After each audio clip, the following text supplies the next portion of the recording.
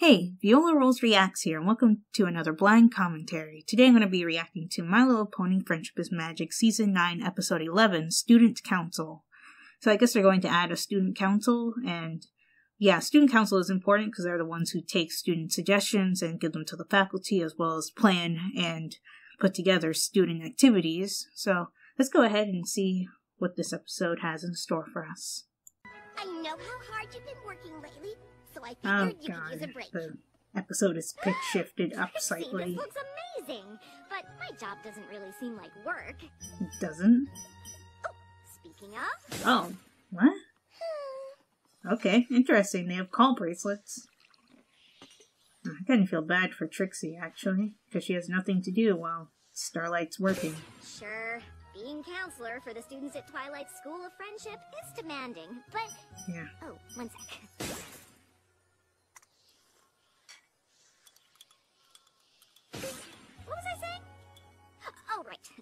Able to use the experiences of my checkered past to help young students feels pretty great.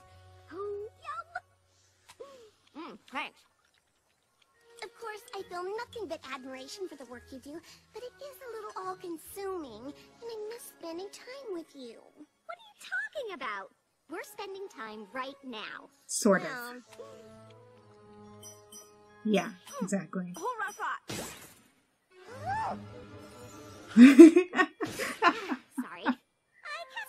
the door to my office, so this bracelet goes off whenever there's a knock. Yona is having the worst time with her braids lately.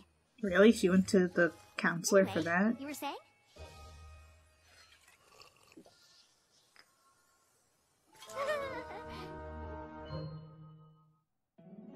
my little pony, my little pony. Oh, and I just now realized it's mirrored, too.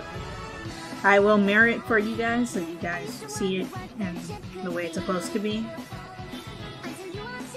Also, if possible, if I can actually do the editing for it, I might pitch shift it down so that it sounds normal, because, I don't know, does anybody else have a hard time watching pitch shifted episodes? I do a little bit, but this is the only one I can find on Daily Motion that's an actual full episode, so... Uh, oh well. I totally respect my younger cousin's decisions to stay sea ponies, but they've never been on dry land. Preparing for a visit with them is almost as much work as the research assignment Headmare Twilight gave me on hazardous fauna of the Everfree Forest. How would you describe a shower to creatures who live in water? So far, I've got warm and steamy. Actually, steam has water in it. Silverstream, there are a lot of students who want to see me today. I just need a few shower adjectives that don't rely on the wet part. Huh. well, there's clean, relaxing, um... Soap? Relaxing? I don't. A nap's relaxing too. Warm and clean are okay. Wow, I have to give this some more thought. Maybe just have them experience what a shower is Well, like? I'm here to help. My door's always open. Except for today, What? course. Trixie? If we leave now, we can finish everything before sundown. Trixie, I can't leave. It's almost spring break. Twilight and the Why don't you just wait for spring break? Celebrate the spring solstice in Canterlot, and I have to help the students with any issues before they head home for the holiday. I know you're busy, but I hope you haven't forgotten about the spring solstice. Spring cat. What? The party Maud and Mudbriar are throwing. Ooh. Sunburst is coming to town. Ooh, she forgot. You and I promised to make the cake. How Oh, could I oh, possibly wow. forget about that?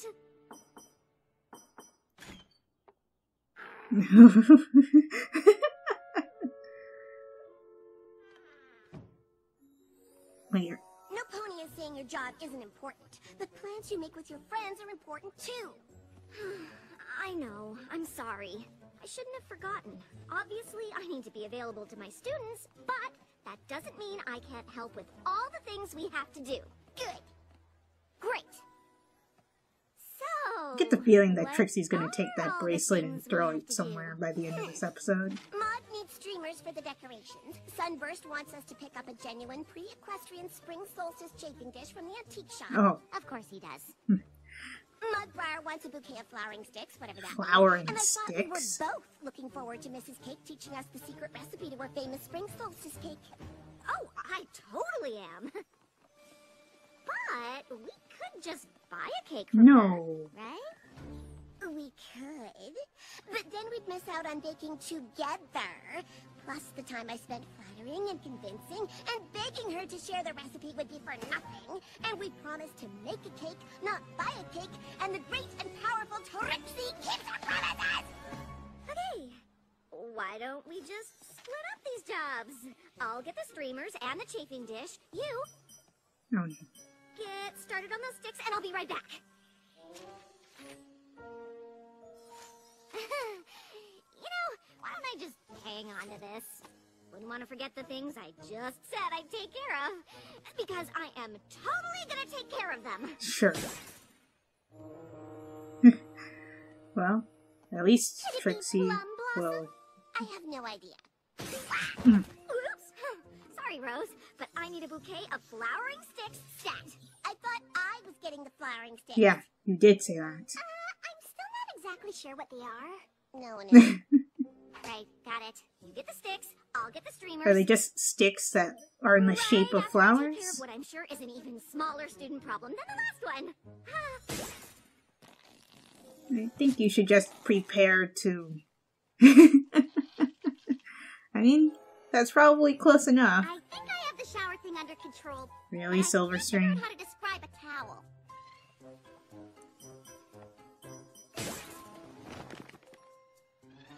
Smolder, I understand the school can be a bit drafty, but that doesn't mean you can breathe fire anywhere you want.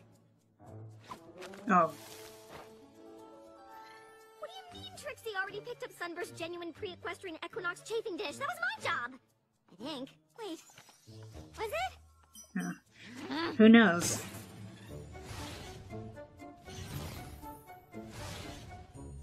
Ocellus, it's perfectly normal for a changeling to struggle with identity issues, but Counselor Starlight! When you're done, I need some synonyms for the word dry. Or really just help explaining the concept. When they come onto land, they'll be dry. Wait, Mrs. Cake! You can't close! Trixie and I need to learn the recipe for your equinox cake. Trixie was already oh, here. Fine, dear. Trixie was already here. I told her everything she needs to know. What? No! Oh, the great and powerful Trixie might keep her promises, but the busy and distracted Starlight sure doesn't. I promised to help her today, and I haven't done a single thing. Oh, that does sound hard, dear. A- And I'm not quite sure how to tell you this, but your health is glowing. Of course it is. Hmm.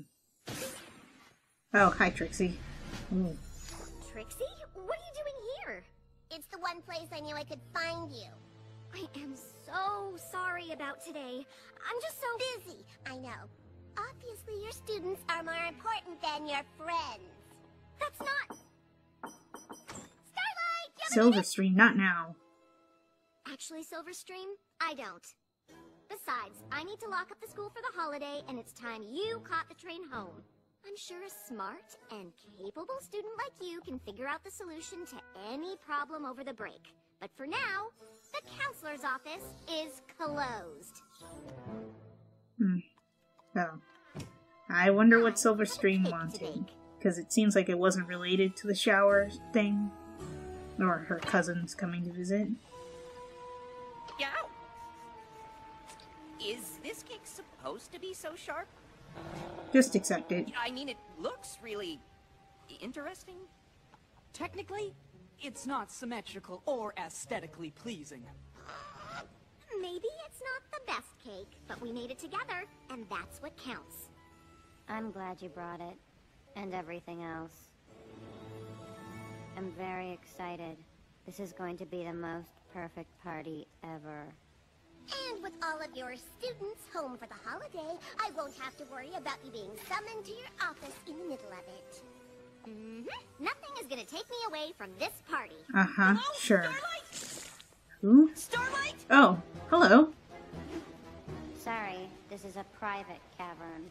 Is Starlight here? I was told she'd be Uh oh, here. Silverstream didn't go home, did she? I'm Terramar, Silverstream's brother. I've been looking all over for you. Silverstream is missing! Trixie just looks like she couldn't care even a little bit. I don't understand. Silverstream didn't come home? Mm-mm. I was supposed to meet her at the Mount Aris train station, but she never showed up. It's a long way between Ponyville and Mount Aris. She could be anywhere. Our parents are leading teams of hippogriffs and sea ponies, searching the land and sea between here and our home. They sent me to check the school. But the school's closed. All the students are gone. Are you sure? I know she had a big project due for Twilight. Do you think she might have stayed to finish it? She never told me about a project. Well, That was the last thing she wanted to talk about. she came by. Really? What kind of counselor turns away a student with a problem? The kind with too much on her plate. Starlight has always gone out of her way for her students. And I mean always. Except apparently when it matters. This is all my fault. You all Well, go back to the party. Technically, Terramar and I will check the it's school. Trixie's We'll fault. find your sister. Should have known it couldn't last. Party perfection is more of a pinky. I wasn't going to say anything, but these flowers are just glued on, so technically, it wasn't perfect all.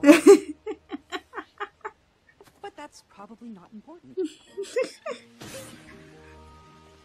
Mm, At least Mudbriar is getting a little bit better at reading other people's uh, feelings. Silverstream?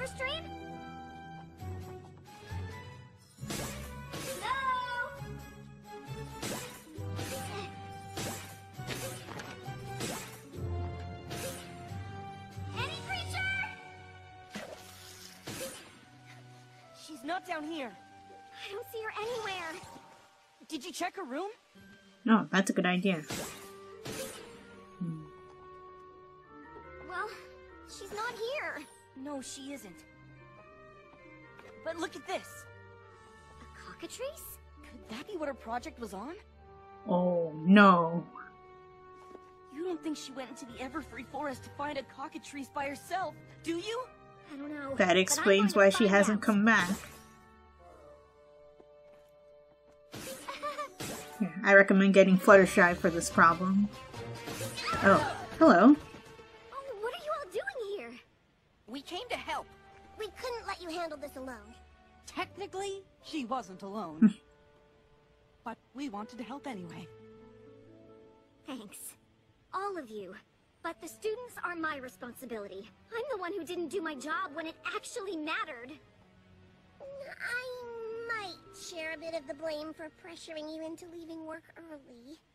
Yeah. But I don't want to ruin your party. we can still have a party. A search party. Can we talk about all this later? Silverstream might be in the Everfree Forest alone. We think she went in to do research on cockatrices. What? The gaze of the cockatrice is known to petrify any who dare to cross its path. And the reptilian birds are elusive and solitary. Uh, Where would we even start? I have a lot of experience telling ponies that I have experience with the dangerous creatures of Everfree Forest. Follow me! Okay.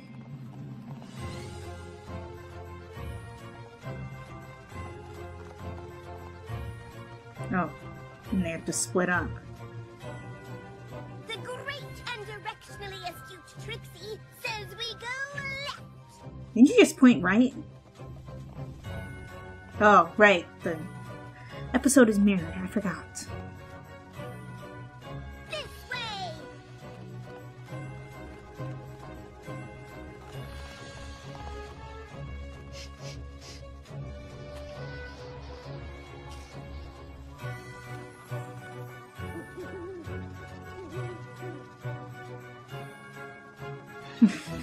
Mudbriar stopping to look at sticks along the way. Yeah, I was about to say, they're gonna start going in circles at some point. Yeah.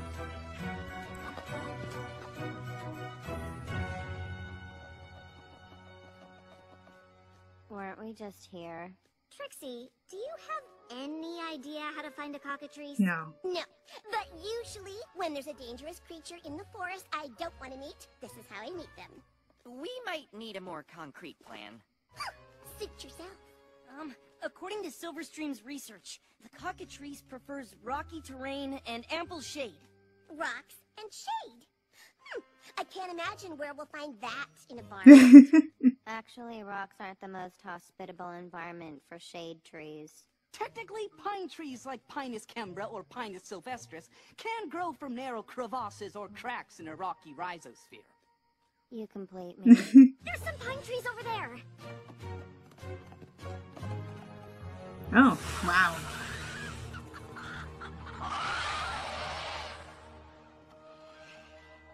I thought you said they were solitary. They are.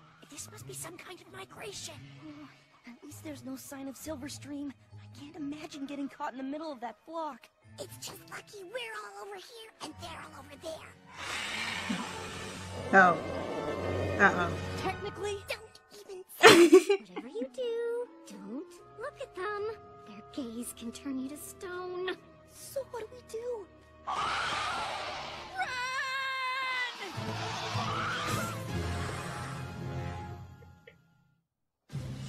so, how are they going to get out of this one? Because I remember Fluttershy was the key to stopping cockatrice last time, but there was only one. Sunburst! Stop! It's me! Starlight! I'm so sorry. We have to get out of here. I know. Hang on.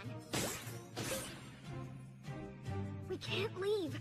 Silverstream might still be in the forest. Stay here. I'll get the others. Be careful!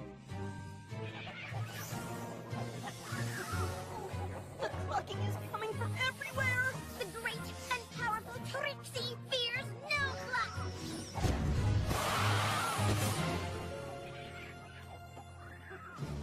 Come on.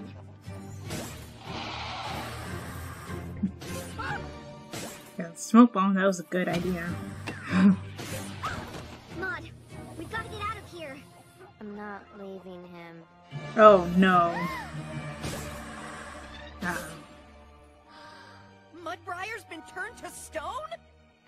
Think I could love him anymore. We've got to get out of here. wow. But we haven't found Silverstream. We can't. Also, is that a reference to the date they told us about when we were first introduced to Mudbriar? Um, they went to a show where somebody turned stick into rock.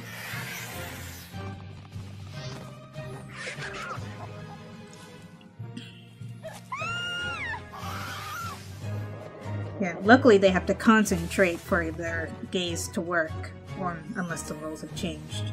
Oh yeah, I forgot about the crystal treehouse.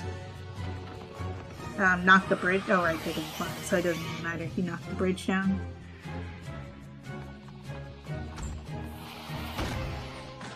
I mean, they can just fly over. Silverstream found a good place to hide. There could be hundreds more cockatrices on the way. If this really is a migration, it'll take a full lunar cycle to complete.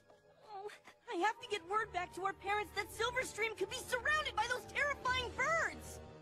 and as handsome as Mudbriar is now, we should probably catch one of them to turn him back to normal. Ugh, this is all my fault. I'm never taking time off from my counseling duties again. That seems a little extreme. Really? If I hadn't galloped off to a holiday celebration, Silverstream would be safe with her family, and you'd all be enjoying Maud's party. Instead, my student is missing, we're surrounded by a flock of petrifying chicken snakes, and Maud's boyfriend was turned into a hunk of rock! You got the hunk right. I love how Maud is just in love with no Mudbriar even idea more if now. Silverstream even came to Everfree at all, but I have no idea where else to look. Has that always been there? What? Really, you're Oh, just now the students' treehouse. noticing? Apparently, it grew from the tree of harmony, and of course, that should have been the first place we looked. Yeah, it should have been.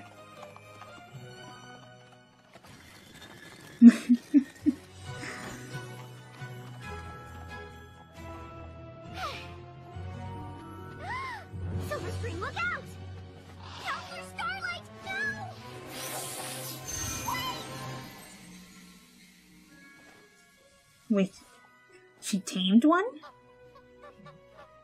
This is Edith. She's helping me with my project. I don't understand. After you encouraged me to solve my own problem, I decided to get my project done before I left. That way I could really focus on my family during my visit. The school was closed, so I came here.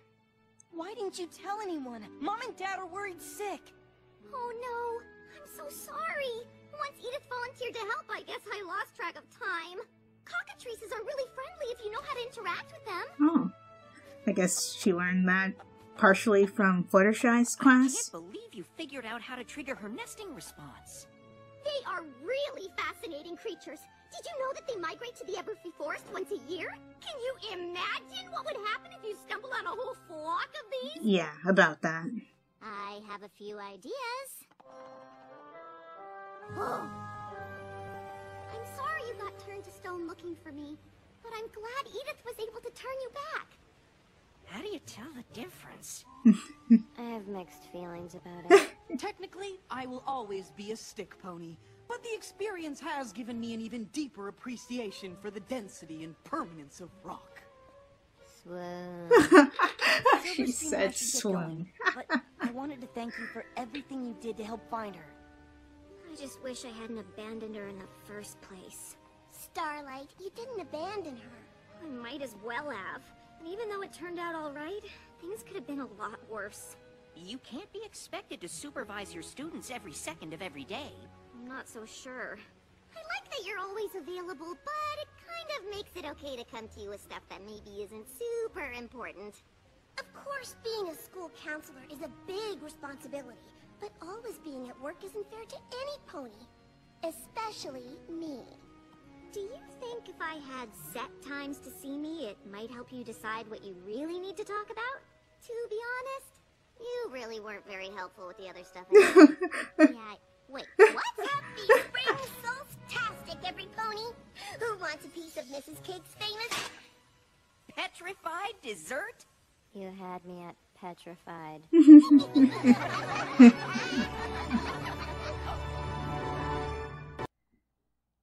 Okay. Not entirely sure why the episode is called Student Council, except for the fact that Starlight is a counselor and she works with students.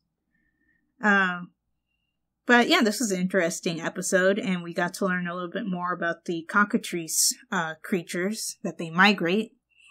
And it was kind of cool to see that Silverstream had managed to befriend one of them for her project. I kind of would have liked to have seen how she did that, but oh well. Also, the jokes with uh, Maud being more attracted to Mudbriar after he got turned to stone was hilarious. And it was also nice seeing uh, Maud and Sunburst and Mudbriar again, and Trixie too, of course. Um, though, yeah, usually faculty have set times for when they can see you during the week, so Starlight probably should have done that from the start, but it does seem within Starlight's personality to always want to help, especially with her trying to redeem herself from her uh, villainous days. Because I get the feeling, even though she's probably done more than enough to redeem herself with everyone, she still criticizes herself to some extent. That's sort of a theme that all of the reformed villains have in this show. But yeah, I really enjoyed this episode. If you guys did too, give this video a like. Also be sure to like my Facebook page and follow me on Twitter as well as support my Patreon and check out my reaction channel. All those links will be in the description below. And subscribe for more. If you are subscribed or a new subscriber right now, be sure to hit that bell icon so you're notified when I upload videos. This is Viola Rules, Reacts, signing off. Talk to you later.